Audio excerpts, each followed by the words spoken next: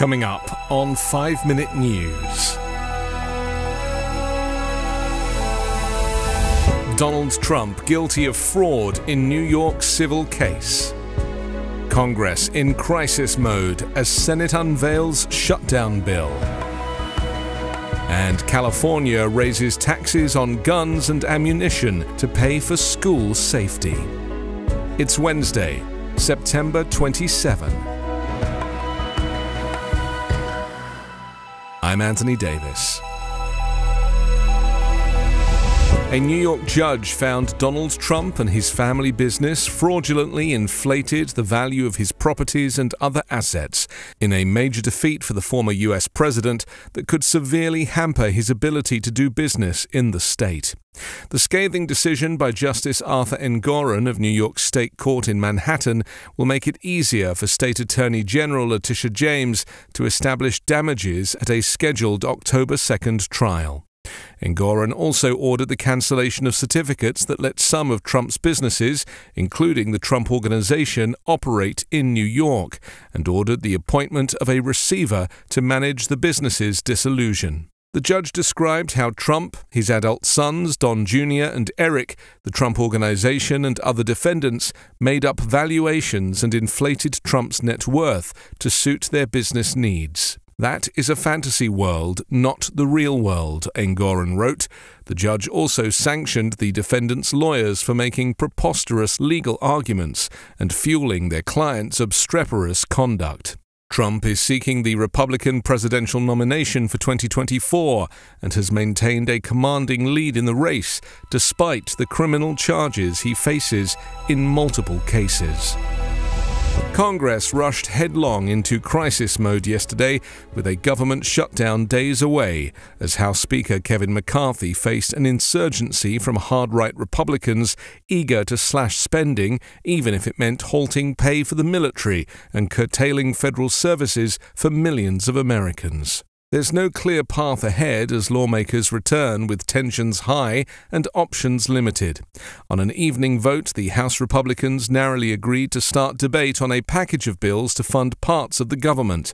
But it was a short lived victory because it's not all clear that McCarthy has the support needed to actually pass the bills in the days ahead, as holdouts demand steeper spending cuts despite a deal already agreed with the White House months ago. With just five days to go before Saturday's deadline, there is no endgame in sight.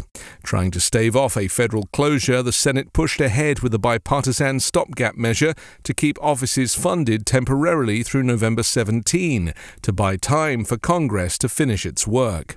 The Senate advanced the bill late last night on an overwhelmingly bipartisan vote, 77 to 19.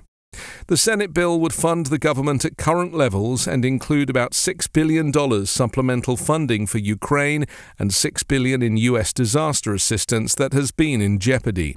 It also includes an extension of the Federal Aviation Administration provisions expiring on Saturday. Senate Majority Leader Chuck Schumer called the temporary measure from the Senate a bridge towards cooperation and away from extremism.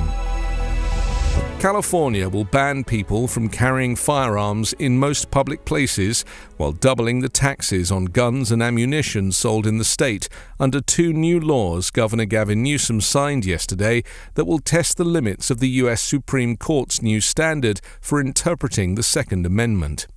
The federal government already taxes the sale of guns and ammunition at either 10 or 11 percent, depending on the type of gun.